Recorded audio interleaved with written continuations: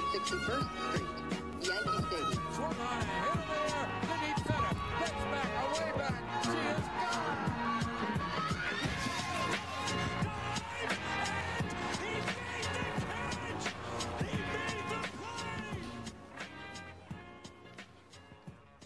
All right. Welcome back to the Boys at 161st Street, episode 207. Today is June 13th, and the Yankees have just swept the Cubs, and that's fun. I am out in LBI, so excuse my internet if it ever ends up breaking up, but I don't think it will. I think we're good. We're not in Vermont now. I'm I'm the traveling, the sisterhood of the traveling Luke. so You are uh, down the shore. as down the say. shore, as they do say. Um, You but did yeah, a good job Yankees. saving Luke there. He was laughing at his own joke alone. Murph saved you. whatever, man. Uh, Yankees have been dope. That's cool. Yankees have. I mean, they're just. It's what do we even say at this point? It's almost like rinse repeat, and just. I mean, this whole season has just been continuing to be historic, and they haven't slowed down. Just when you thought they were gonna slow down a little bit, they just rattle off another. What are they? Nine and one in their last ten, or just sweeping Yeah. every team. It's it's crazy. It's crazy. How are we doing, gentlemen? Before we get going and uh, and kick it off here. I mean, it's hard to complain, right? I mean, 11 complain. game win streak, one loss, and then another four, four, four or five game win streak Some- right now. Something like that. Yeah, we we've won like something ridiculous, like 14 out of 15 or something dumb like that. So Yeah. I mean, it's uh, it's a good time to be a Yankee fan. I'll just leave it at that. Yeah, I saw some stats too that were just like, uh, I'll pull it up. Unless you're a yeah. Deadspin writer, you shouldn't be excited about this team because Here's the a Yankees. stat for you. Did you see that? But While you're it? looking those up, Deadspin came out with an article. I mean, not that I'm, you know, Deadspin's the greatest thing on earth. I just think like it's hilarious that you can get paid to write an article like this in general. That the Fucking shit. Yankees are the um, Green Bay Packers of the MLB, and not to get your hopes up about this team. It was like, yeah, the Yankees have a reputation for dominating the regular season. We've won one AL East title in the last nine years, in case you were wondering. Um, it's like, yeah, the Yankees have a reputation for dominating the regular season and choking in the playoffs. It's like, when was the last time we truly choked in the playoffs other than 2019? Yeah. Like all the other times were wild card teams that shouldn't even be there. just weren't a good team. Yeah, Yeah. like 2017, you could say, but you're playing the, you know, the Astros, who were very good, won the World Series, and they were cheating. Not that you know, I'm going to say that that cost them a World Series. I'm not pulling a Brian Cashman, but they were a better team anyway. So I mean, I don't know. yeah. I think uh, it's a little silly. I saw I saw one stat today or an article that was like breaking down like the Yankees' historic start f- through the first 60 games, and there was a list of teams who had how many wins do we have right now? 40 something. 44. It was like teams that have had at least 44 wins through the first 60 games of the season, or 40 wins through the first 60 games of the season, and every single one of those teams um, made it to the championship game. Um, The big champion- game. Championship series. Championship- Yeah, I think championship was that the series or CBS one because I actually Probably. coincidentally have and that one up I, right now. I but, hate yeah. I hate stats like that. Tr- truthfully, where it's like, oh, these all teams made it this far because of their record, and now the Yankees can too. But I thought it was pretty cool. No, I I, mean, I like those. They make me happy. Yeah, it's not that crazy to talk about because I mean a team it's different because it's like when you see a team that, you know, goes 15 and 0 in their last 15 or 15 and 1 in their last 15 and then that team ended up making it to the World Series 10 times out of 10. That makes no sense, but a team that you don't just fluke into 44 and 16. Like you're Yeah. that good and that's why that stat actually kind of bears some weight. I mean, it doesn't really at the end of the day when you think about it because it doesn't really matter. Like I guess that article was kind of alluding to from Yeah. Deadspin, which I've Yeah. never fucking heard of before. But it's just you know, like I said, you don't fluke into 44 and 16, and uh, more on that later because I I dove into the numbers, uh, not against the rest of the league, but just looking at you know why is this team so good as Yeah. compared as compared to last year to this point because we've seemingly talked about it on this this podcast not seemingly we talked about it on this podcast that it kind of seems like we're just running the same thing back ahead of this season we were all like this team's kind of gonna suck and if you go to the not kind of suck but like kind of more of the same because that's what they did a little bit but you know I, that's what i wanted to see you know we're watching the games and we see what's actually better but I wanted to see tangibly what's better in each respect, like by the numbers. So Yeah. more on that later. But yeah, Um, before we get into any crazy details about the Yankees, I know we're all we're all uh, enjoying watching them so far. Everyone's enjoying the Yankees so far, but um, this episode is brought to you by Underdog Fantasy. They are one of our new sponsors for the season so far, so um, really excited about that. If you go to our link in bio, link in the podcast description, you can uh, either download the Underdog Fantasy app or use their website version as well sign up and use our promo code the 161 boys and you can get a hundred dollar deposit match on your um, your first deposit. Um, we're be trying to do some cool contests and some daily fantasy stuff in underdog. We use it all the time. Um, it's our go-to place for daily fantasy sports. It's a blast in there. You can draft your own team. You compete against us. You compete against other yankees fans other people in our group. Um, it's a lot of fun. There's pick'em games. There's daily drafts you can do rivals, a bunch of different game modes. Um, so yeah, go look, go uh, to link in bio. Use our promo code 161 boys. Get up to $100 in Murph's cash. for You could also pick, audio, uh, those in the audio only. Murph winked. That Yeah. cool. Now, if you picked, you picked uh, Matt Carpenter to hit some some bombs daily fantasy underdog, you would have won some cashish. Or if you live, point- or if you live bet hey, Kyle Higashioka did a home run right after he hit the first one, like I told everybody in our group chat too. He did, and I know. granted, it was off a 35 mile per hour fastball from Schwindel, whatever the Frank fuck his name is. Home run's a home Yeah. run, baby. Slowest ball ever hit for a home run.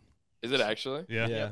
So That was wild. Let- Let's talk about that for a quick second there because I- it's kind of that was kind of fucked up. Like, there's no need. We're up 16 runs. I know there's no mercy rule in baseball, but like, I know Higgy. What do you, what do you want him to Yeah, do? what are you supposed No, to no, do? there's Yeah. nothing I want him to do, Oh, but that's and I'm such not. a loser. I'm not That's asking him to change his tune. I'm just saying it's just kind of like it's like if anybody needed that, I know that was gonna say like Higgy's kind of just like getting his stroke back and like stat padding a little bit, and that, that- if anybody had helped, it helped Chandler because that's two now on the on the Yep. the run 23 more. on the run for 25, and I think I think he's gonna hit it. He's gonna hit Yeah. I mean, six more this week. The live odds for his second home run were probably minus 250. That's what I was gonna say. one. You were saying you're gonna win a bunch of money on Matt Carpenter hitting home runs. I mean, fuck. At this point, he's got to be like minus 500 to hit a home run. no, we talk about people like What's he got? Eight hits and six are home runs. Yeah, we talk about people like Stanton who, like, when he's hot, bet the shit out of him. Just bet him every single game to hit a home run. Uh, obviously, uh, we think Carpenter is becoming that, but Higgy is the epitome of that in within a game, not even just like that week. It's like pick him to hit another home run as soon as he hits one, and he did it in this spot. He's gonna. If I'm if I'm picking anybody li- like Luke's lock of the day for tomorrow because we don't have a game today, um, I mean you have to just throw your mortgage on Higgy to get a home run tomorrow. If, if there wasn't a, if there wasn't a rest day in between, I definitely would have done that. But I think this rest is gonna fuck him up. I think you should never bet. Like if you just do the you know whatever like FanDuel has the daily dinger thing or Tuesday dingers or whatever. If you're just betting a player to hit a home run, I think it's stupid to ever bet Kyle Higashioka to only hit one. Just always bet him in pairs. Yeah, it's not worth the money. that'd be a funny stat to look up. Like how many of his home runs came on the same day. He's got four multi home run games in his career. That's all I know. And what's he got for his career in terms of home runs? Because also some of the well, some of the multi home run days are three home runs though. He doesn't just do it twice. He does I it. know. And I'm actually shocked in an 18 run outing that he only had two home runs in that. Him and Matt Because- Carpenter. Dude, Matt Carpenter is a Dude, he's fucking- awesome. the best, I dude. love Matt Carpenter. Dude, uh, Matt, not- Ca- Matt not- Carpenter, a few stats on him real quick Go because for it. I just looked this up what yesterday, and it's in 130 games last year with St. Louis, he had three home runs, and in 10 games with the Yankees, he has six this year, and it's just absolutely ridiculous that he's. I, I- don't know. I more on. I have I have a rounding third about him, but I won't. I won't spoil that yet. But it's just crazy that. I mean, he did have statistically one of the worst offensive years in. uh, I think it he was did the have worst. the Yes, worst I, year. I know you were gonna. Yeah, yeah, yeah. He had the worst ever. He's got and so- 325 WRC plus right now, which was- leads the Yankees. Yeah. Uh, it, it's leading Judge by 115. So he was Also due the, for some um, positive regression. But Also, not- the um, his interview after the game was like big locker room talk For those of you who didn't see it, he was just like preaching about how like this team's different. You know, the clubhouse is great. One of the best like clubhouse clubhouse has been around in general, and this guy's been around the block. You know, you don't you don't, you don't, 36 years old. you don't have a mustache like that and not seen some shit. Yeah, Yeah, you've seen it all. You've seen it all. Dude looks like it it looks like a World War II airplane mechanic. He's He- been he's been in some clubhouses before. Pretty sure he was in Top Gun. I was gonna say, I was just gonna say, if this happened, you know, last year while they're maybe filming Top Gun, throw him in for a cameo, put him in the background. While- Not even a cameo. While he's cast. DFA'd, Yeah. like a DFA'd, just like vacation, just like makes a cameo in Top Gun. What would his call sign be? Uh, that's a good one. I have no fucking clue. Um, oh, man, Bomb. I feel like just just nice simple bomber. bomber. The old Yanks reference. I don't know. That's the first one I could think of. I like off the top of Bomber. My head. I was gonna think of something along the lines of like uh, uh, some of the Blue Bloods, because like he was like a Tom Selleck mustache. I was gonna say something that probably isn't good to say, so I'm gonna keep it to Like myself. sheriff. Yeah, it's a good idea. Sheriff, yeah. I like Sheriff. It's a PG Trooper, show. trooper, It's a kid. It's a kid show. Trooper. maybe. trooper. That sounds like a like demeaning. Yeah, a little bit. Well, let's Anyway. move on. Yeah. Just name out a bunch of random words of people with mustaches.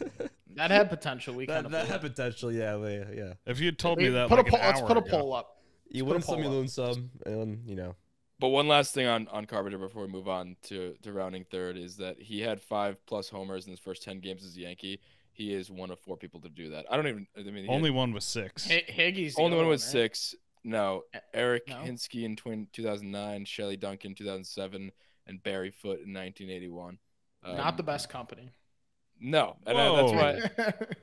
I mean, come on. Not a big Barry Foote fan.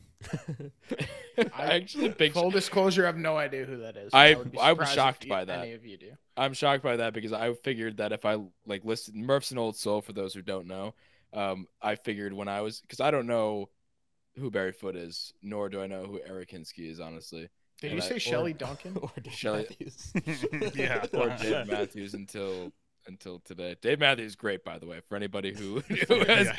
Who's- That's awesome, man. for So, Rella anyone was also born in thinks- 2012. Yeah, he also thinks Boyz II Men is great.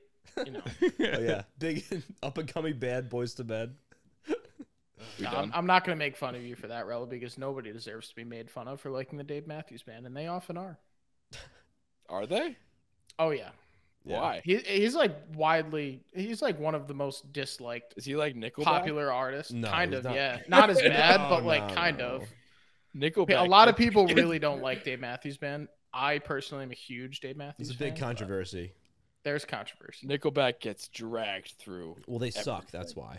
I They, I would say Dave Matthews, in terms of hate versus deserved hate, Dave Matthews it's gets like the, the Vicky worst of it. Mendoza Like, thing. No, it's like I, I also kind of like Nickelback. Like, don't think they should be getting shit on either. But I like, like Nickelback Dave too. Matthews Band is fantastic, and Yes, but Nickelback deserves more don't- hate than than Dave Yes. Matthews. exactly. I, I don't I, I don't agree. Let's move on. I, I, I think that uh, one thing that I thought was very cool, other than Dave Matthews Band today and yesterday, was after Higgy hit his two home runs, or I don't know which one it was after, but it's just kind of a, a like an indication of how great this team is, and specifically how awesome Jose Trevino is. After he goes up to him and he just he hugs him and like they they have a moment, and I and we find out after the game too that uh, Trevino is actually the one that gave him like a tip that ended up It was before his first home run. Before his first home run. He gave him a tip. But I don't know what it was. That's I think cool. it was something to fix in his at bat or his swing or something. It was, yeah.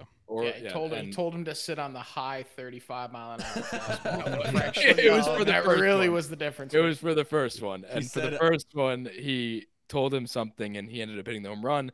So kudos to him. But then after that, at some point, he was like hugging him. They had like a little moment, and it's like you could e- he could have easily, and I didn't expect them to have any tension because they are kind of in a position battle. But the two guys, Jose Trevino and Higgy, are like neither of which think that they're not starters. So like they kind of both know the assignment that they have, but like they could easily have tension among each other, and they don't. And quite the opposite. They lean into Yeah. being boys, and just I think that's just a indication of like the locker room and how everything is. Like I mean, Jose Trevino confirmed locker room guy, Murph.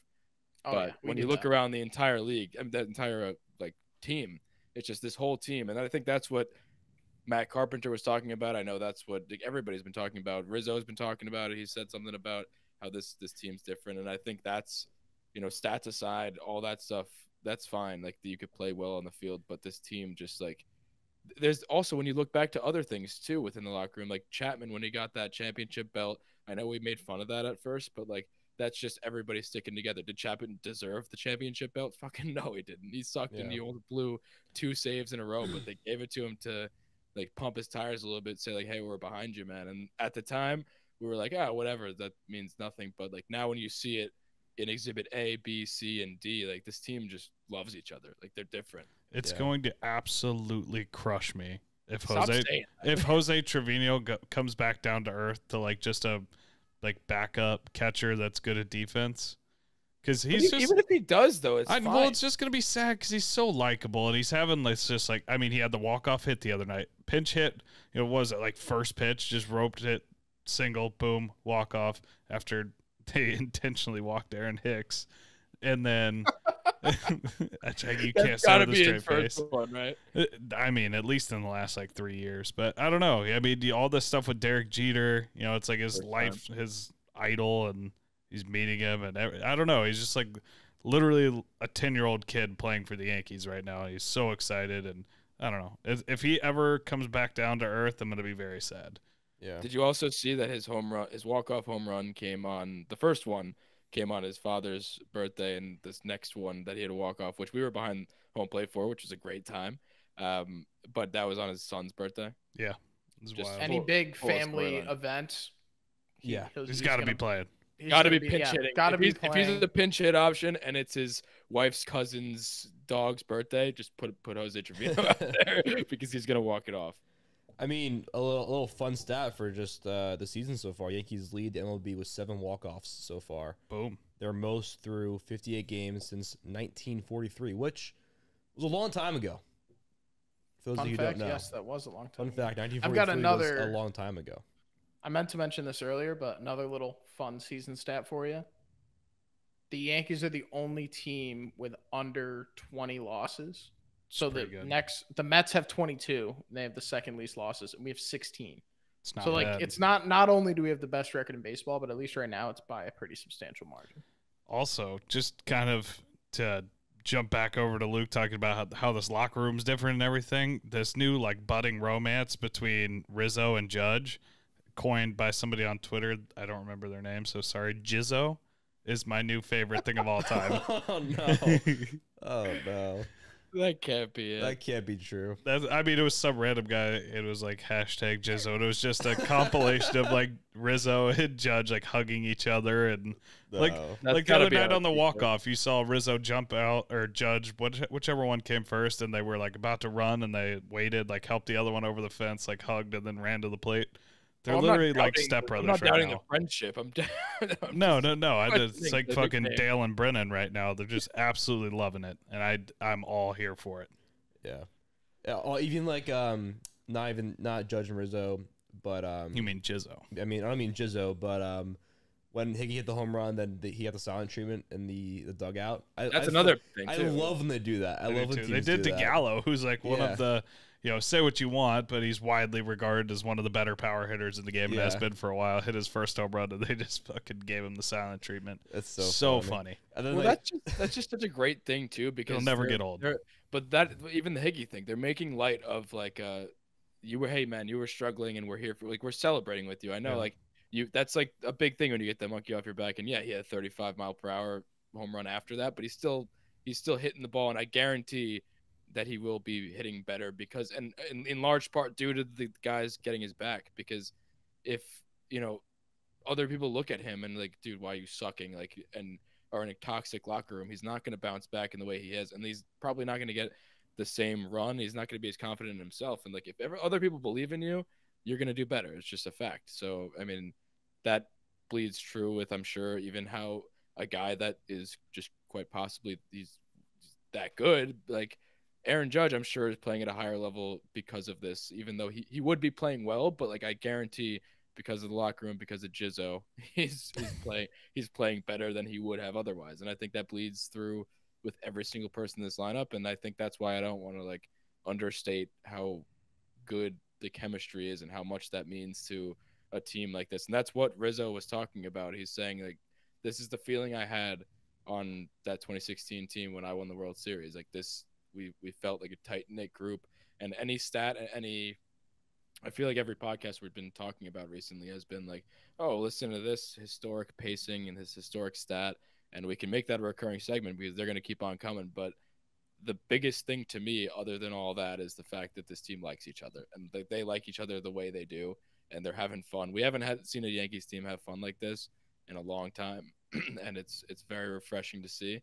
And it's it's when you pair that with historic numbers and being on pace for 120 wins and Judge is on pace for 67 home runs and like all this stuff that you see Judge's name in the same sentence as Mickey Mantle, Babe Ruth, and this the Yankees are in the same sentence as the 20 whatever 20, 2006 Mariners. Is that what the team was? 2001. 2001. Uh, yeah, it just it's it's nuts. It's nuts when you see all that stuff, and Gives me shades of the thumbs down 2017 team. but even more so, Yep. like way more than that. with an actual like roster that can win. You know, Yeah. like that 2017, it was like, all right, They were borrowed like the Rangers. Ever since the It was house wild card, yeah. yeah. it's both, and that's what's different this year.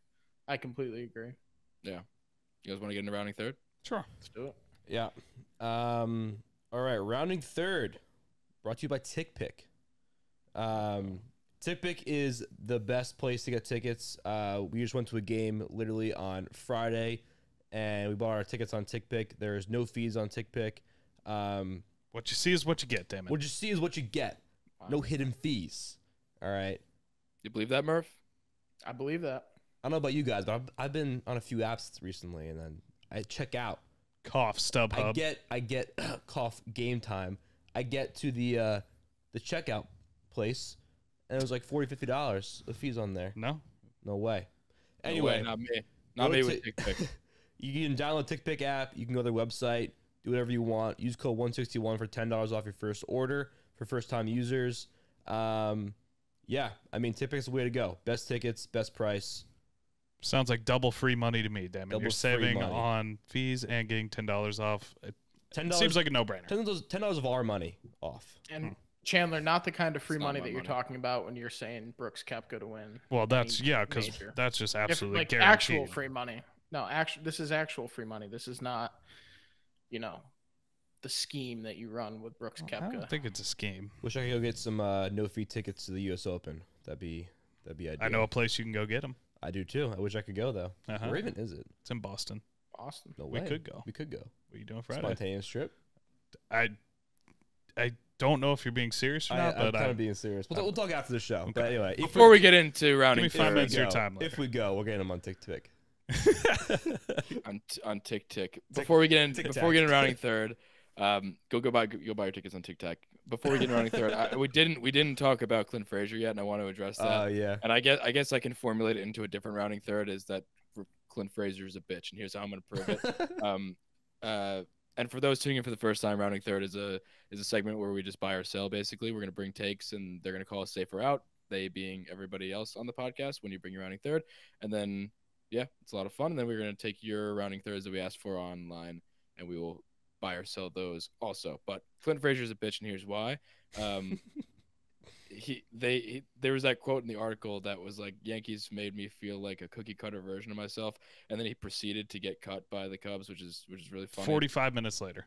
I don't was this so was this article was and obviously this was the article was written, but like also the excerpts from this article and like were were before he got cut, obviously. So it's just funnier that way. And I'm not rooting for him to suck, but like when you Uh, we also loved Clint Frazier too, but when you say that we just we- constantly shit talk the Yankees all day, every day, and blame them for that's why you're so shitty? Then, and then you just re- and then you right after that get cut by a team that we just hung 18 on in one game. It's not, not the best. side. It's honestly, I'm actually very shocked that he got cut. I'm He- not. I know he he, was hitting 200. I know he wasn't hitting well, but like the Cubs aren't good. So They've be- got to some be young cut by guys that they want to put, and like, and Suzuki's on the IL too, so it's not like Yeah, he he he could have been gone before that too, but he had plenty of opportunity to be good with the Cubs, and he just wasn't. But they were starting him every day, right? Until he got hurt, then he missed while, like two yeah. months. Oh, shocker! Clint got hurt. Can we go ahead and while we're here, just finish out one big just romping of the Cubs and how much they fucking suck in general? Uh, their social media team, Yankees fans think everything is a home run after Judge hit the second pitch he saw 400 feet. Then Stanton had a borderline home run rob. They tweeted that after that tweet, and the next, uh, let's see, 17 innings, less than two games, they gave up 25 runs, were outscored 25 to 4, and had 10 home runs hit against them. So, haha, fuck you, Cubs. Also, on that note, while it was 9 to 1, did you see or hear the announcers talking and they were just like basically complaining about how all Yankees fans are bandwagon fans and if they weren't good, the seats would be empty? Well, he was alluding to the, On the the broadcast. 2009 on yeah on 2009. Like, okay, like man. last like, time we were here. Congrats, yeah. you're old. Like I don't know what to tell you. Like I mean, that also that also could be a factor of. It's just I have many bones to pick with that because that could be a it's factor just dumb. of of just baseball not being as popular as as it is today, and like it just many. Th- it's just dumb. It's just throwing. uh, just bad. Grasping Bad. at straws because you're losing. Yeah. Pretty handedly. Yeah. Nine All to right, one. so who wants to do the first rounding third? Other than the first real rounding third, because Clint's a bitch. Obviously, you guys are all buying that. Rella, you Mm. uh, Just you tipped your hand a little bit to the. Oh, I'll, I'll we'll do the. Let's finish up with Clint first. Well, Oh, no, we're there's- I there yeah, we're done. I just think it was Okay. hilarious. Like it could not have been better timing. Yeah, That's no. all I'm gonna say. Um, you want to go first, Rel? Since you already. I did tip my hand, yeah, Murph. So you were alluding to the, the Yeah. carpenter. Mine mine was also carpenter related, is all. Okay, Maybe you so guys my- could tag team one. I, I'm assuming You it's could probably one? pretty similar. do you want to go one with me, Murph? You, I want you to say yours, and I'll say mine, and then we'll address. Okay, well, mine is that I think Matt Carpenter is going to have like uh, a Greg Bird esque playoff moment for the Yankees, and I, I just think and I'm not gonna sit here and tell you that he's gonna have like staying power and he's gonna be just he's gonna go continue playing like this, hit six home runs every three games or ten games on the major league roster, but and I'm not even going to say that he's going to play regularly. He's probably not. He's probably not going to play much for the team. He's, he's probably going to play 10 games. He's been up for what? How many games have we played so far? Like 60. six- 60. And he's played 10 of them. I mean, granted, he hasn't been up on the roster for that long, but he's probably playing every other game, if not less. So, I, and there's not really much of an explanation for this that's going to tell you because I can't really prove anything to you to tell you that this scrappy 36 year old veteran is going to just randomly get it done. But I just have that feeling that he's going to be the guy to just have a big series. And I- I guess here's one thing that I can prove. I looked at his playoff numbers, and it, there's nothing really crazy when it, when you look at all of his playoff numbers.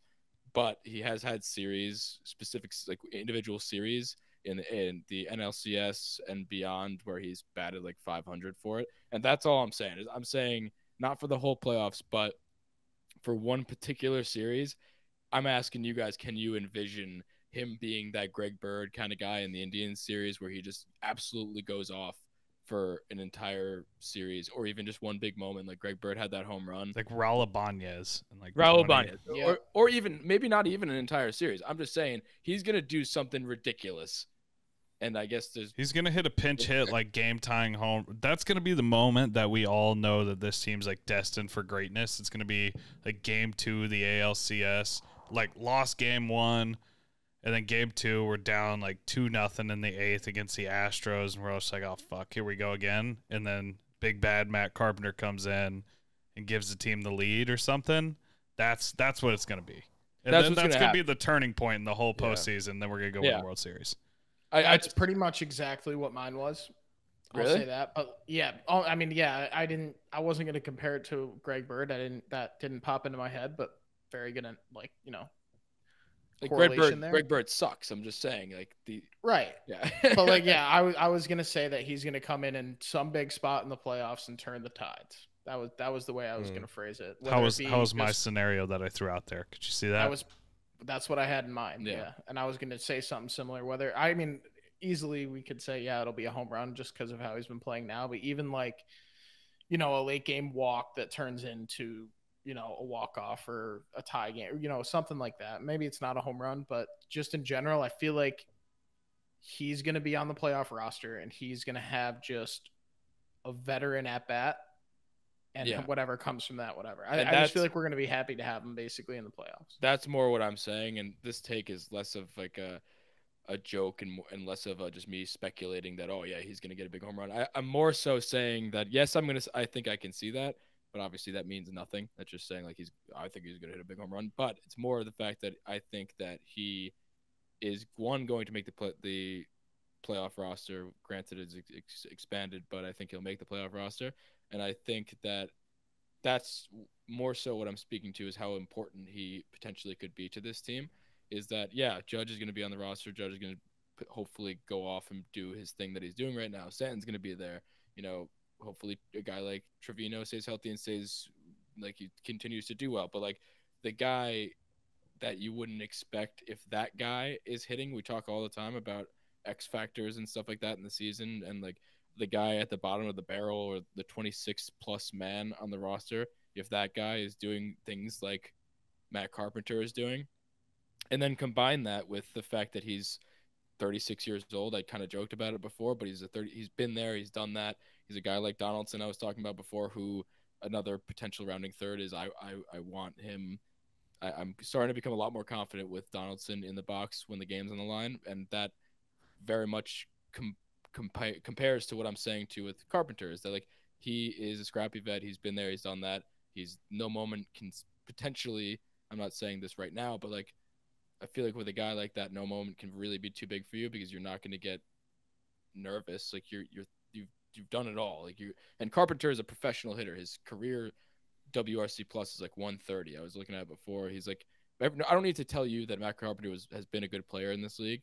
I'm just saying that I think guys like that are that that is the X factor on this team when it comes to winning a World Series. I think, and the fact that we have guys like that who will just do their role is is just crazy important. And also, like I said, the leadership of a guy who's 36 plus, who's older for some of these younger guys, like you know Gleyber, who is at times can be a head case, and you can tell Gleyber like, hey, listen, man, there's no name on the back of that jersey, brother.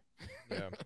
I um I feel like that like when we make when we make the playoffs, he'll have like if he gets consistent playing time, I think he'll have like a he'll win like an MVP of the series, kind of like a, s- like a randomly like That would be like cool. randomly like, like Steve Like Pearce did. Steve Pearce. Yeah. Yes. Yes, exactly like he Steve was World Series MVP. I know, I know he wasn't was. World I know he was. yeah. But like, that's what's gonna be. It's gonna be like this random guy on the team who just like goes off during the series and is like the series MVP.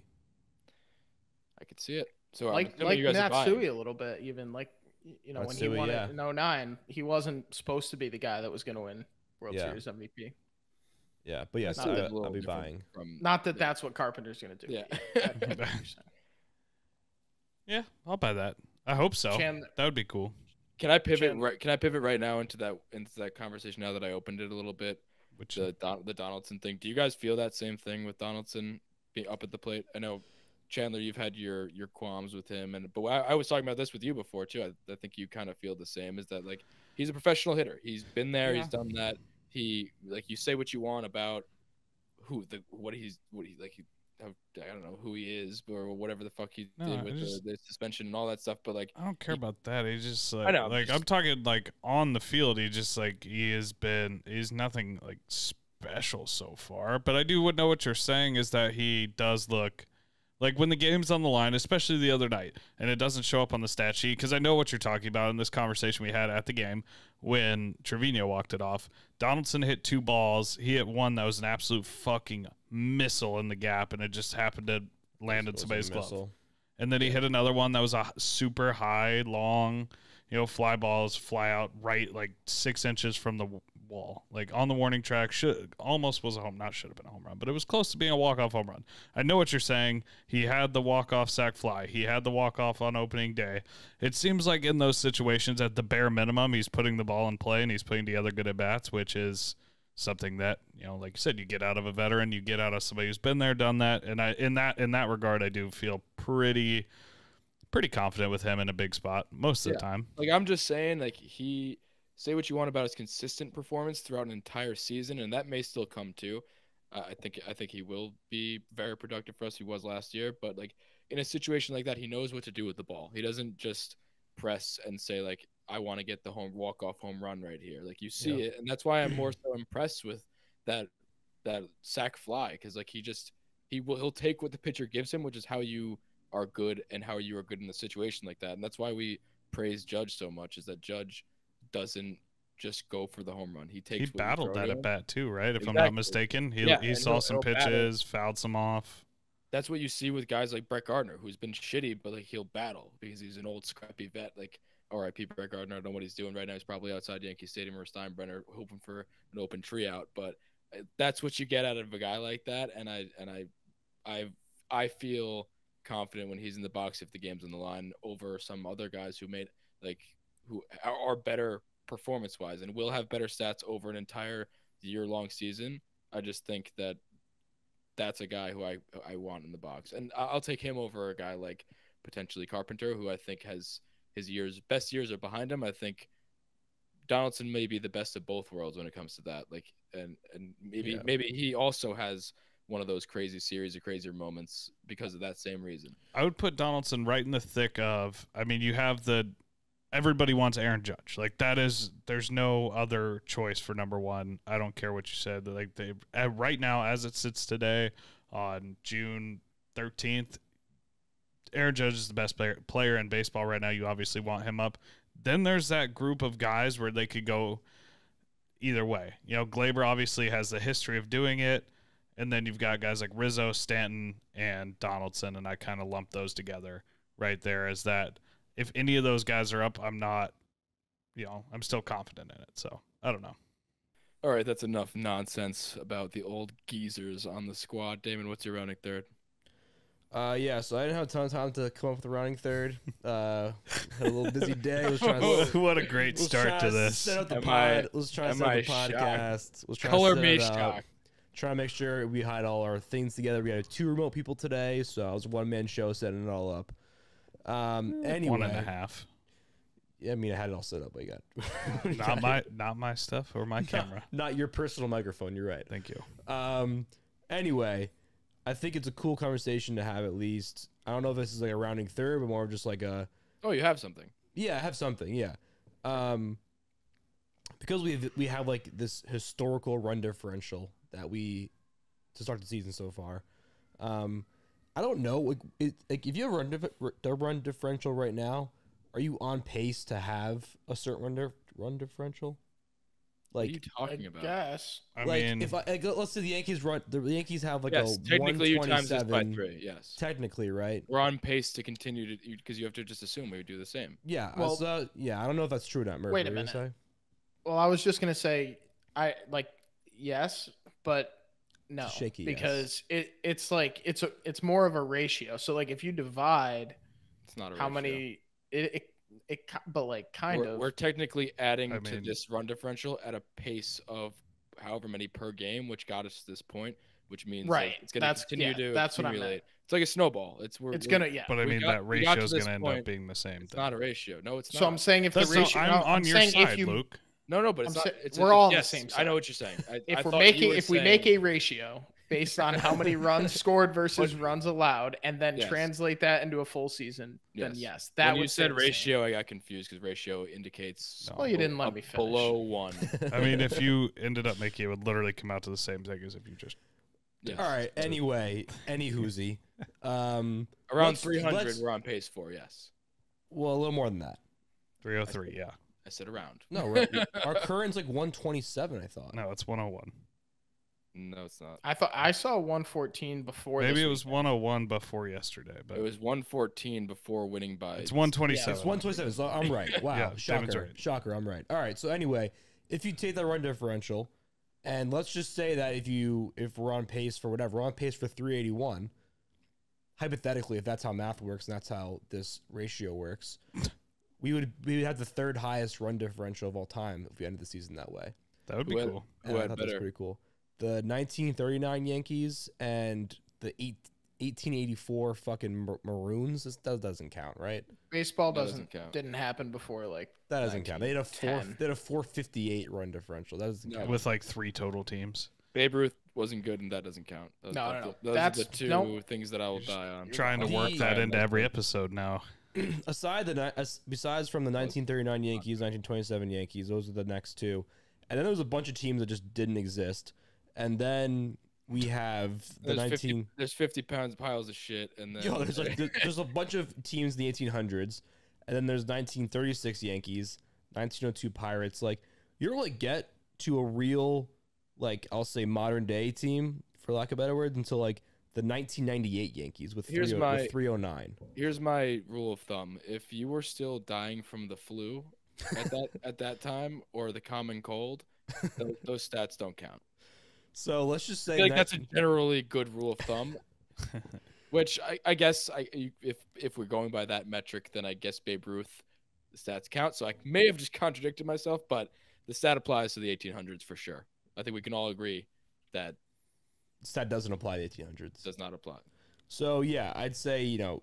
Anyway, I thought it was a cool stat. Um, 19. They're all Yankees teams, which is funny. Um, but I think that we have a good chance Funny to, the way uh, it to, to break in, break into that category. That'd be pretty cool. I'd say my hot take though is that we finish in, you know, we finish with 350. Was that just your way to, to 350? introduce that stat? That was yeah. Did You you know look up quick. anything recent years like leaders or whatever to what that would Right, put so us like you in just say- categories with? That'd be an incredible uh, achievement. achievement. Well, the- You, So- you so said no. 309. you said the only the only team within the last say 100 years to do that was the 1998 Yankees, and they had 309. And you're saying we're gonna have 350. That was a terrible calculation you just did there. I, I was looking at a bunch of numbers. And I just took the average from here, so it wasn't really. Why don't you just make it easy on yourself and wasn't a say they'll thoughtful be, thing. they'll be the number one?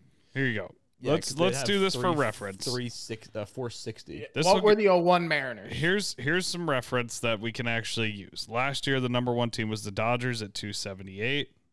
The year before, uh, that's 2020. Don't count that. 2019, 279 was the Astros. 2018, 270 Astros. 217, 251. So 350 would put us 100 runs better than any team in the last like five years. Yep. And that is I that what you're predicting? I would say I would, I would venture to say that 300 is even a piping hot take. I'll say And three, I'll, I'll say I'll, I'll say 300. 350 was a joke because I wasn't I didn't read anything. Uh, 300. Well, it is wasn't my- a joke, but it's a joke now because Well, you're it, backtracking it was and it you was a, realize how dumb it was. well it was a it was a take that I had didn't look anything up from, so it was a stupid whatever. I'll say 300. I'll, I'll stand by 300. Under. If we're setting the over under, I'm going to take the under as well. I think that I mean the stat number one is inflated after a 17 point win, 17 run win. I don't know if you want to call that inflated because I mean it's just I mean, how? I mean, not in, not only just that win, didn't we outscore like almost 30 to five or something? What the Cubs? That that whole series. yeah. I Here's think it what- was like 25 to five. That Could one. happen. here's what I will say. I will say I think that we in I don't know what era that is like the the modern era is that what they The call it? The live ball era. the live ball era. When does that start? I don't know. after the 20s, Okay, I I think that wait after the what? 20s. 1920s. Dead ball era was around the 1920s. I, I think I- in recent memory, I think we're the last fuck, uh, those names that you were saying the last couple of years, the, the leaders, I think we're going to be higher than them. I think 300s might be a tall task, but in the in the 290s, anything goes. I think that happens. I would just say that they would probably be somewhere around the 270s, 280s, like all these other really great teams of the Why last be the- five years. Why not be the best? That's They're gonna I would the love to be the best. Yeah, that was that was a uh, a bit of a pussy mentality there, Chandler. We're breaking all not- these records. You think that's one? They're all they're all getting broken. What if this team broke like uh, Every let's set- record let's, ever. Wait, let's set, let's set an over under on how many, whether it be individual or team records that this team breaks. It like realistic. Do you think it's over under like two and a half?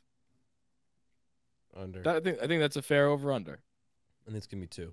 The way they're they're pacing to break, like they're talked about breaking every record out there. So, you know, there's the one that we've been talking about that was the overall team wins. There's one that we are talking about, the Judge.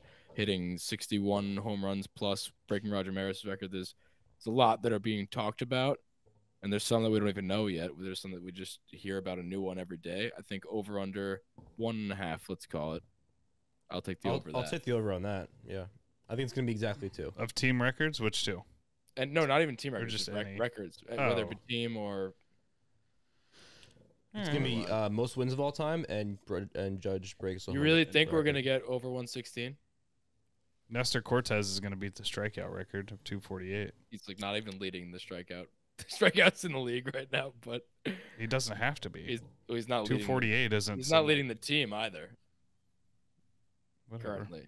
I'm just saying if you're gonna. Well, I mean, I was mainly just making a joke, but That's yeah. all right. uh, yeah, not whatever, man. Whatever. Chandler, you were very excited about your running third. What was it? Oh, Very I'm excited. It's not really a positive one, but I think it's something that needs to be addressed, and I think that it'll at least open uh, the talk, you know, discussions amongst the four of us, and hopefully to the millions of listener listeners worldwide. Um, uh, my rounding third is that Aaron Judge, not Aaron Judge, Jesus Christ, man, figure it out. That Gerrit Cole is not going to return to like absolute dominance this year, which is I don't mean I don't know. I'm not saying he's going to be bad, but let's put a number on it. Let's say I don't think he'll finish top 5 in Cy Young, which is for him a bad year. I think he's just going to be good, not great the rest of the year. gut feeling or I mean, he's had blow up. He's had a bad start. He had to the season, and then he, you know, he kind of got back to being dominant, really good. And then against the Twins, he went two innings, gave up seven runs, five home runs, a career high. He's setting a lot of career highs this year. He's got career highs of walks in an inning, like walks in a game, home runs in a game, runs given up in a game, shortest innings gone in a game. I don't know. I don't know. I think he'll be good. I don't think that he's going to give up seven runs every time, but I think that it's not crazy to think that, you know, he's just not going to be this top two, top three pitcher in the world this year. I disagree, but I can't say that I'm not concerned about that seven run. I know it's one game, but like I'm not saying like I'm fact that scared that he's going to suck. I'm- ass. I I'm just don't like. I think not top five in Cy Young is not just like no, outlandish. I know, I know it's not outlandish. I I personally think he will, but I'm not gonna sit here and and tell mm-hmm. you that I think that I'm not worried. I, I think the the one thing I want to lean into is that seven run outing that we touched on. I don't like it. And I don't like it for the reasons that are obvious, but I also think that it can bleed into a game like a playoff. I'm seeing that in terms of a playoff lens, and I'm looking at that as like if you can give up seven runs. Who did he play and The give up seven runs? Twins. Twins. Twins have a pretty good offense. I think they're a little bit fool's gold in terms of, you know, leading your division in a shitty division like that. It's not really you're not that good of a team, but I think, you know, I I don't like it, and I think that that's a bad sign for a playoff series. I think Because that if you can do that on one given day, then you can do it on another given day. It's like seven runs is not just like a oh, you know, he had a bad start. Like that's blowing up and continuing to like snowball in one game, and that's not good. So I don't like it, but I think I don't know. I'm concerned Um, that didn't. for individual game. But what do you think? I, I I do think that he will be top five, but I think I'm I'm I don't like that he showed this vulnerability, if that makes sense. I don't think he's gonna do that every day. No, not at all. Neither I do actually- I. But I, th- I think that he'll finish in, in the top five, but I think that on a per game basis, the fact that he showed this crack is not good to me. I'll say this. Um, we've been talking about it quite a bit about Gerrit Cole's slow start and coming back, and like, what do we need to see from him to make us feel confident again? And we all keep talking about that fuck you Ray, the fuck you start against the Rays, and that fuck you start against the Rays is tomorrow. that's that's what it is. That's what it was supposed to be. We're playing the Rays tomorrow. Right. Gerrit Cole starting that's like this is like the game we were kind of been leading up to in terms of like when Gerrit Cole is going to be back, and I, uh, you know, if he doesn't have a good game tomorrow, then I am going to buy that take, Chandler. Okay. That he's not going to be top five because that's that's where I start to get really worried about what's going on with I him. just, I you mean, know, we're a been third of the way through the season. He's got an ERA in the upper threes, which you know you you have that rule. You know, once you get a third in, you can kind of start to look at cumulative stats.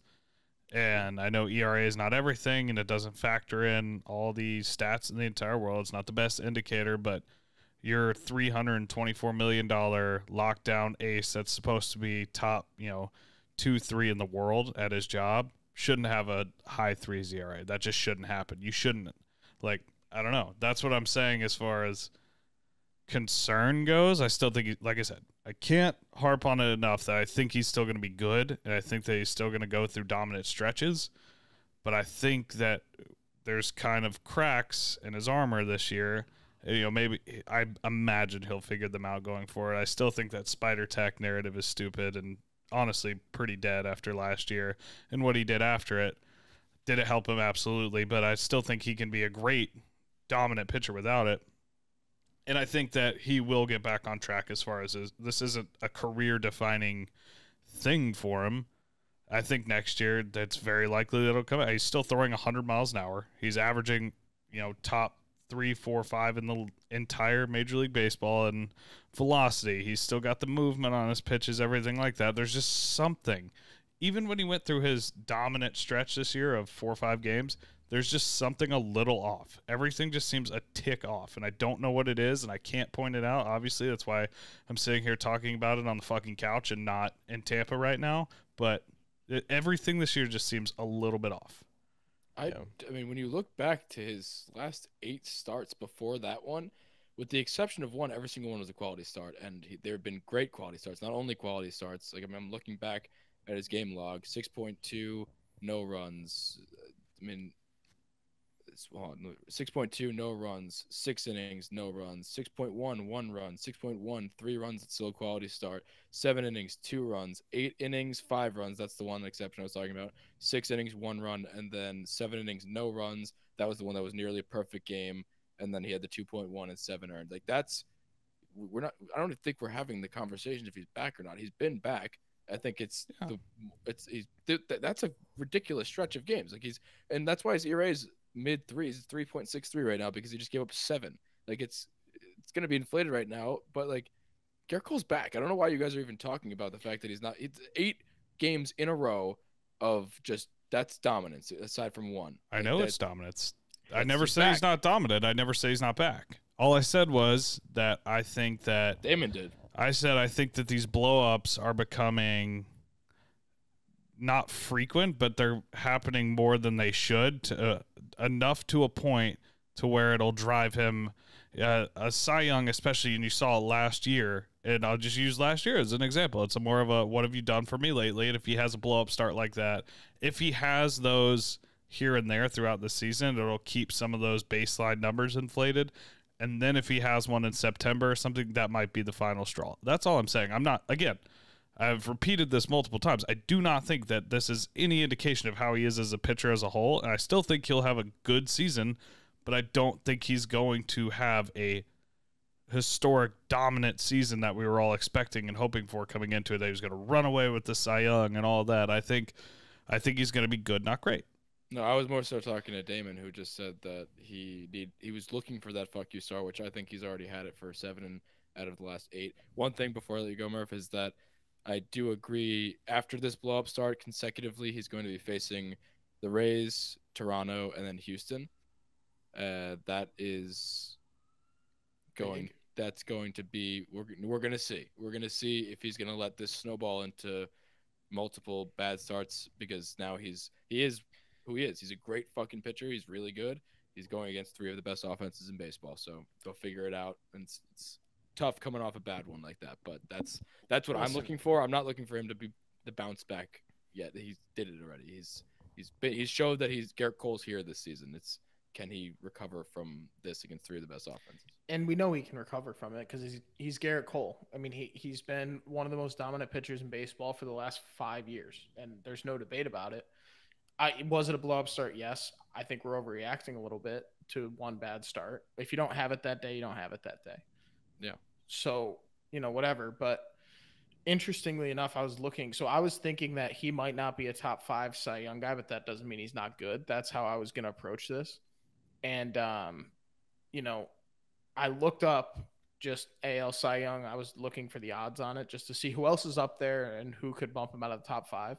ESPN does this Cy Young predictor, which do with that what you will. I don't really think ESPN's the This best. is the one that had like. Clay Holmes as the favorite. Clay Holmes is second. Yeah. So like out of the top uh, out of the top 10, sorry, the Yankees have 5 of the top 10 in the AL, which like yeah, don't want to look too deeply into it, but like he st- he could have not the best rest of the season. And not the best meaning like still better than most and still could be in the top 5 Cy Young cuz you're looking at the other Cy Young candidates Shane that are not Yankees.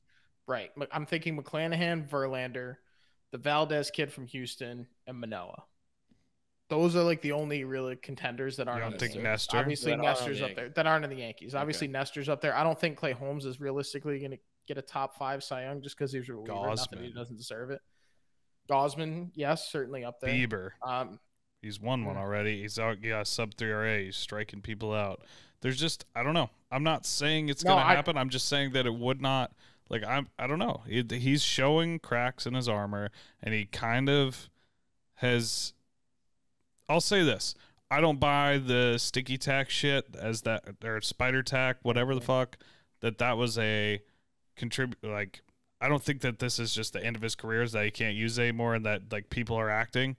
I will say is more susceptible to the blow up starts, and I actually am slightly concerned about. For the first time in my life, I've been concerned about Cole between the ears, and I saw that not last game. I saw it in the Rays game because he didn't get a call that would have ended the inning, and he let that snowball into the game tying run. He walked a guy on a three-two pitch that was a borderline strike, threw a little bit of a hissy fit, walked the next guy on four pitches, then gave up a single. Like eh, he was clearly rattled and stuff like that, little things like that. Uh, yeah, it was a great game. And you look at the stat sheet, and obviously that doesn't show up in the stat sheet. He went seven innings, gave up a run, and like three or four hits. Amazing start. Definitely pads the stats. Stuff like that scares me. I've never worried about Gerrit Cole between the ears. Stuff like that is just not like him, and it's weird. And that's kind of what I was alluding to when I say there's something that's a tick off, and it's not like last year. He walks a guy on a pitch like that. He comes back with a fuck you one 101 mile an hour pitch dotting the black. He wasn't even close on the batter after that. He's I I don't know. I don't know what it is. I just don't have that same warm fuzzy whenever some little thing goes awry. You could, yeah. That's that's. there's your- anybody that's that your can come back yeah. from that, though. I'm not saying he can't come back from it. I think it, that you're just No, missing the, the point feeling. there. You- Is that there's can some No, I'm you not. Feel, yeah. I- feel and I that think that way, there's- yeah. There's a legitimate chance that he's not going to be a top five in the Cy Young, and I'm completely okay with that, so long as So he keeps keeps it as it how it is. I mean, if he, I don't think he, you know, he doesn't have to drop off the face of the planet to not be a top five in the Cy Young voting. So, like, I don't think it's rid- ridiculous to say that he's not going to be in the top five, even if he doesn't have that fuck you start against the Rays, because he could go out and shove against the Rays, you know, have a little bit of hiccup against the Blue Jays, and then turn around and shove again against the Astros, and then what are we talking about? Because he's back to where he was. So, I agree, Damon, that the fuck you start needs to happen, and I think no matter what happens in that Rays game tomorrow, if we reassess this on Tuesday night or Wednesday, it's going to be one way or the other. Like we're either going to be like, "Oh yeah, Chandler, you're absolutely right," or "Oh, that was ridiculous" because he had his fuck you start. Yeah. it's going to be one. I have I have three things on this. I have one. I have 20, I- things on this, real quick. I three things, but but they are quick. One, they're just more more so closing comments. Um, one, I think we have we have had Gerrit Cole for a couple years now, but I do think when even when you look at his historic year, that last year when he had- had 300 plus strikeouts with the Astros, you look at that and like you you see the final tally and the final stats, and I don't know off the top of my head, but I absolutely guarantee there were starts like this built into that season. So when you look at a, a player like that, we're, we're looking at him under a microscope and every little thing, like you said, Chandler, that one spot where he, you know, didn't get a call and then that blow up thing happened. We don't see that when we're looking at it from a third party or a third, an outside Astros fan perspective that season. I'm sure if you asked an Astros fan, they probably had situations like that and may have happened. That's one thing I think that we that's that's one reason why I'm not gonna like overreact to one start because I guarantee every pitcher, no matter what who it was, no one's perfect every single day. And I'm not saying I'm not asking him to be, and I'm not saying he have, ever has been. I'm just saying that's one reason why I'm not going to overreact to that. Two, I think a guy like Gerrit Cole with the pedigree that he has, there's a reason why he gives up seven in that spot and not just four, is because you're that you're you're Gerrit Cole, so you're going to be left in longer. So I think that's why he's going to have a little less of a leash because you know another guy, a random guy, I don't even know want to bring up a name, but like Clarke Schmidt. Clarke Schmidt goes in there. Clarke Schmidt's doing great, but if Clarke Schmidt gives up four, he's getting pulled. Am I right or wrong? Yeah, Gerrit but Cole, but Gerrit Cole's just, gonna stay in there and be able to work a little longer. That's why I'm. Yes, you didn't have it. I mean, is, you probably is seven runs still working through something, or is that just just like what? no, that? I'm, ju- I'm I'm only I'm I'm not saying he had it that day. He didn't have it. I'm saying the reason why it's seven is because he was left in longer than another person. So it, it everyone else would have been. so he had a chance to be terrible for longer.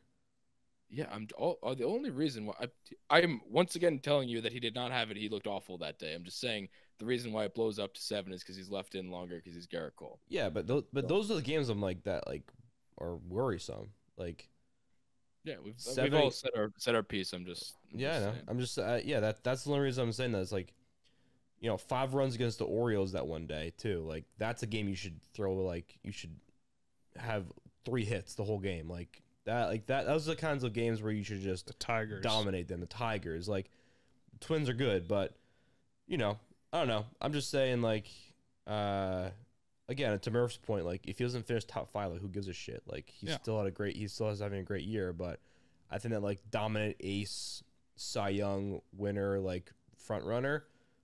I need to see more to like be more confident in that that take. I think Yep. he's still there. I think that right there was the perfect way to wrap it up. There's no like that's all I was getting at is that I'm not confident that he's gonna run away with the Cy Young like people think he's going to.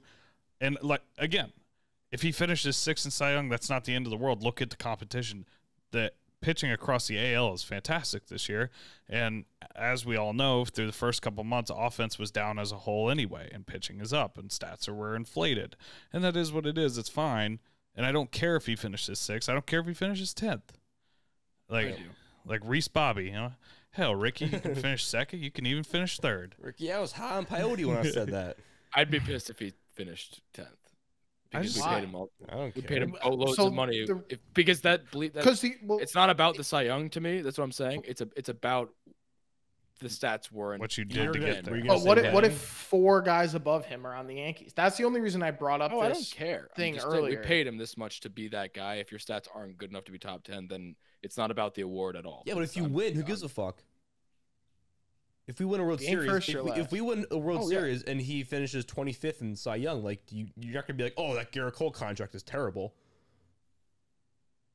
You're I'm just- not Especially when he shows up in the postseason. I'm not worried about the contract. I'm not worried about him going forward or you know saying this is a bad contract. All I'm saying is that at, at this specific year, I just don't. I just don't know. I don't know if I'm confident that he's gonna rebound and just. I know he'll rebound and be good. I'm saying I don't know that he'll just be able to lock it down for the entire season. I think this year in particular, in particular, maybe he's working through new things. Maybe it's the adding the cutter to the arsenal and he's still figuring out how to pitch with that extra pitch. Whatever it is that's maybe like a tick off, he'll he'll finish like sixth or seventh, and that's fine. That's fine. That's totally fine. I don't care. Time will tell. That's all I'm saying. Yeah, let's move on. Uh, Want to do some uh you want some hot or Some- nots from the fans? yeah. You got him up? Luke got him up. Who's got him up? It's all you, brother. All right. You're you're the you're the guy. I will. Let's see. Somebody say something while I'm doing looking them up. I'm just looking at the schedule right now, and we got some some big make or break season make or break games coming up. Luckily, we or have a lead, so it doesn't matter.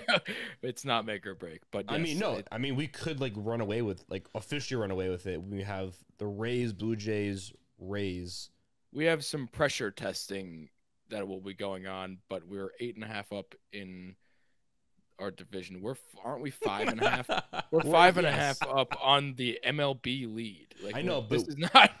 I, I. I know what you meant. Make or break was not the word to use. Let's let's just say Who's ready for hot take su- number one? sustain or bury. Yes. Yes. Sure. Luke will have a full grown mustache before IKF hits a home run. I'll buy that.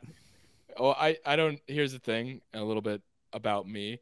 Um, I don't really do that well. So I, I don't- exactly with I don't IKF. even no, but I'm I'm saying I, I I think both scenarios. This is a very good comparison because you give me enough time, I don't think I'll hit a home run. You give IKF enough time, I don't think he'll. I mean, you give me enough time, I won't grow a mustache. You give him enough time, I don't think he's gonna hit a home run. So, I mean, if we're In other comparing the two, will I ever grow a home run, and will he ever hit a home run? Dude, Will ever You grow got to figure it out ever- over there. Will I ever grow a mustache? grow a home run. It's, That's- it's, there it's- it is. My brain's in- in different places, but Frank Schwindel throws a perfect game before either of those happen. I think. that was fucked up. I don't want a mustache, so. That says more on you. I guess Um, I, I I have to you want a abstain from this one. I have to abstain from this one. So yeah. up to you guys. It's like I don't want one anyway. That's how that sounded. That Yeah. wasn't uh, I don't want a million dollars anyway. what do you- Wait, so he more said money, more that, problems, bitch. was it a question or did he have a take that we're buying and selling? That was The the, take that is was that the you would take. grow. Is Did he that choose one? that you will grow a full mustache Okay. before IKF hits home run? yeah, I can't hit a home run first. Hmm, You I think? don't know. Yes. I think if Luke tried, he could do it. Before. I mean, No. he's got until October. I can grow one. It's just not going to look good. I can do it. It's just gonna be. It's gonna be scrappy. It's gonna be like. Um, It's the like Matt, it's like Matt, Matt it's the, Carpenter. It's the Matt Carpenter of mustaches. All right. Not Nope. not to be confused with his mustache, which is a nice one, but Yeah, like the, him. that was a bad comparison. It's gonna be No, who who he embodies. I know what Move you on. meant. Yeah. It's all- The Ricky Hard Bobby working- NASCAR drivers. All right. Gleyber finishes the season with 30 home runs. yeah, I'll buy it. I'll buy that. got- he has 13 right now. Yeah, he's awesome. Yep, sure. I mean, if, we- if you want to talk pacing, I, I think, and which I think he continues. He's not. He hasn't had a, a rate where he was just like hitting a million home runs. I think he's just been slowly, yeah, quietly adding home runs to his timeline. He's he's on pace for like 28. It's pretty good. No, Seems no. like his home runs Yeah. go up more often than not, or like to right center. I'd say not like he's squeaking short porch home runs, but like I feel like every time I'm seeing him go yard, it's to He had a few center. bombs, I yeah. I think that's the best indication that he's back offensively is that he's hitting those to right center. Because when he was sucking ass, he was trying to pull everything and just hit towering home runs to the left. So I don't know. That's all I'll say. That I, I think he. I think he'll taking do what it. they give him, and he's his batting average is one of the better ones on the team too. It's like 260 range. So that's that's not far off from where I want him to be. Like I- if he if he finishes the year at 275 batting average, that's ridiculous. That's great. Yep. Buying Miguel Castro as a high leverage reliever. I'm almost Yeah. there. I'm close. Do No, it for like another couple weeks, and I'm there. Mm. Dude's I His nasty. command stays. Yeah, his stuff's there. He's so If it- it- nasty. If he, has, command right now, and Yeah. if he keeps it, then he's great. It's Does he have if. control though? It's a big if. Yeah, he does. He had one that he kind of looked shaky uh, like a month ago, but he's rebounded nicely. So I don't know.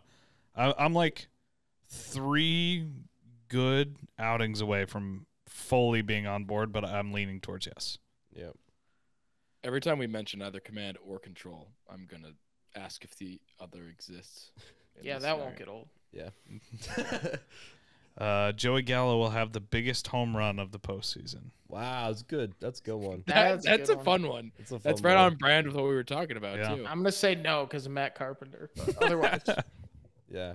Second, I- second I really- biggest.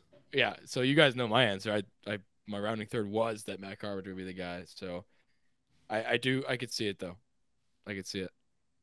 Not being the best, but being Yeah. a huge home run. I can Mhm. say it. maybe, Ooh, this maybe one's he has the actually second interesting. and third biggest home runs. Yeah.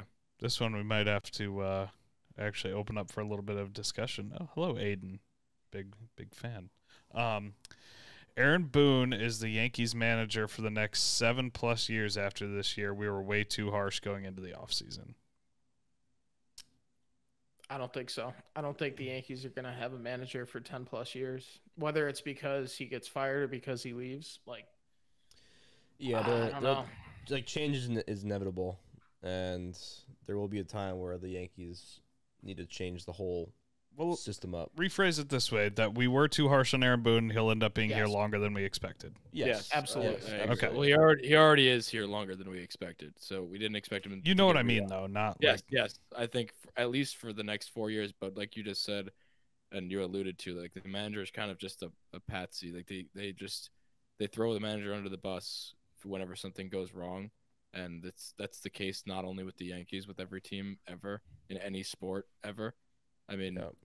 you look, Look at what just happened to Matt. I was about to say. I was about literally about to say that, and also, uh, I mean, not to, it's not in baseball, but Chandler, Florida State head coach, was you guys had a great se- you had a great season. Florida State baseball head coach, they had a great season. They just didn't make the College World Series, and he got tossed. So Four straight uh, underperforming years, though. That's there's an well, expectation in Tallahassee, brother. They, I, I honestly do.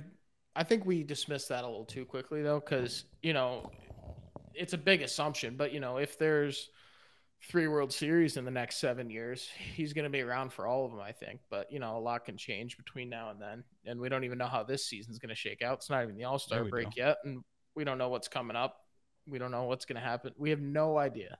And Yeah, I if do wanna once give- something goes wrong though, he he'd be the 1st will guy. be to blame. And I, I do want to give him a ton of credit too because this team seemingly ran it back. Same players, same everything, and he you got to give him a ton of credit as to why this is happening the way it is. You look at another. This is perfect to talk about too because we look at other teams, and we've always talked about this every year on the podcast. Every other team and how they manage situations and pinch hit. And we've always said that Boone has never done that well, and guys like Alex Cora and AJ Hinch, although they cheated, they were good managers, and and uh, just all these other managers can seemingly make the decisions, the right decisions in the moment. Kevin Cash too. I mean, pinch hitting Jose Trevino there, that's perfect. Like that's a spot, and he walks it off. Like that is something that we didn't think that Boone had in his in his toolkit before. And like obviously, a lot of the pitching stuff goes to Matt Blake, and he's probably covering up a lot of the blemishes that existed before. And that's obviously trickling back up to Boone. But you know, I think a lot of credit needs to be given to Boone. And yes, I think we were a little too harsh on him. So I I think I'll. It depends. As long as as long as this team keeps winning, and if if we're truly in a window where we're going to be this good for a while, if we this is a lot of factors that come into that. Is Aaron Judge going to stay? All that stuff, but it depends on the team. But if we continue to to keep this squad together and inject the right youth and maintain this window, I think that he's he's going to be at the forefront. Volpe replaces IKF. No. Nope. Yeah, next year maybe. This year. This year? Yeah, this one says by the All Star break, but I'll extend it.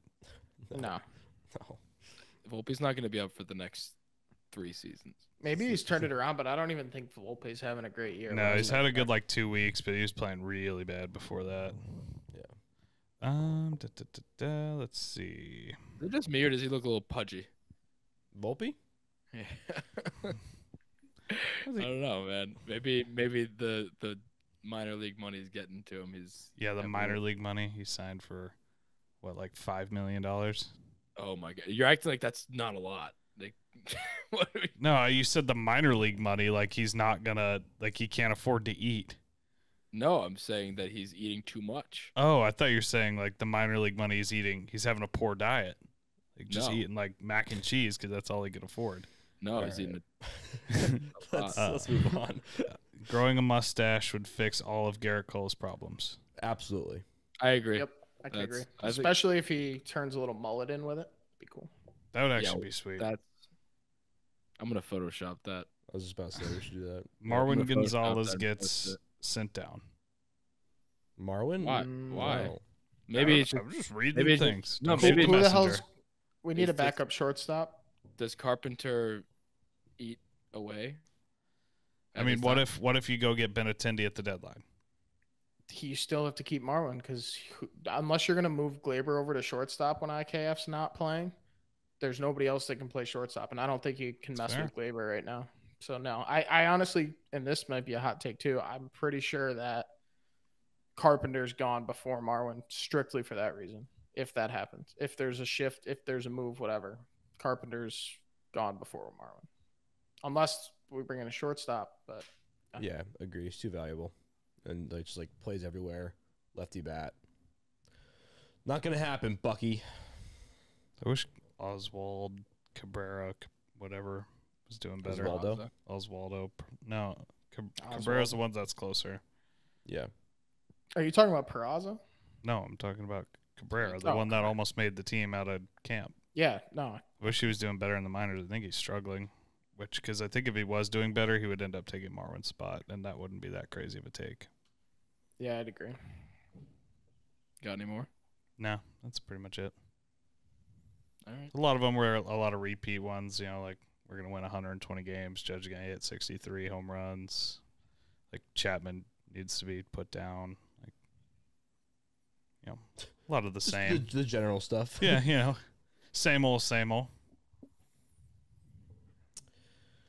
All right. All right. Well, that that I think unless we have anything else we want to chat about, I think that's it from me, from everybody. As always, we appreciate you guys listening and uh happy you spent some of your day with us. We love chatting it up and we've done this 207 times and we hope to do it 207 more times and you guys you guys are the reason not only 207 more than that you guys are the reason why we do this love you guys um as always, if you could leave us a five star review on iTunes, we'd really appreciate it. Uh, just scroll down, mark it five, dude. Um, go subscribe to the Bronx Pinstripes YouTube. Go download the Underdog app to get a free $100 and go download the Chalkboard group chat also in the description for the podcast.